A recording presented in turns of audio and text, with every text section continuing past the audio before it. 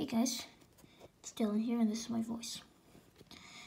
So, about Sunday, April 7th, I did actually order a, um, uh, actually I was, I had a weird dream.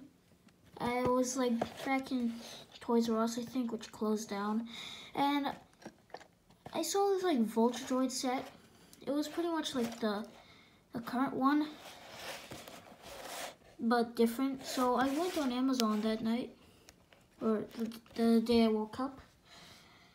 It was Sunday, and I saw this really cool um, Lego set, which is from 1999, and I ordered it, only one in stock, and it's it came now today. Let's around. Pretty cool. You can see that this is really old.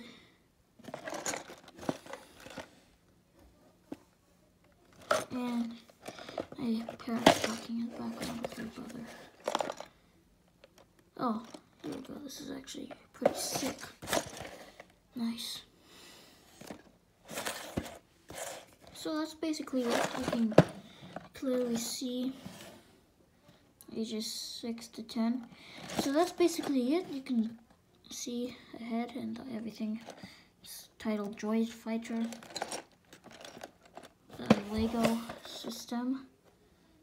Yeah, system. Star Wars, very old. Yeah, that's basically it. It's pretty cool, I have to say. So yeah, that's basically it.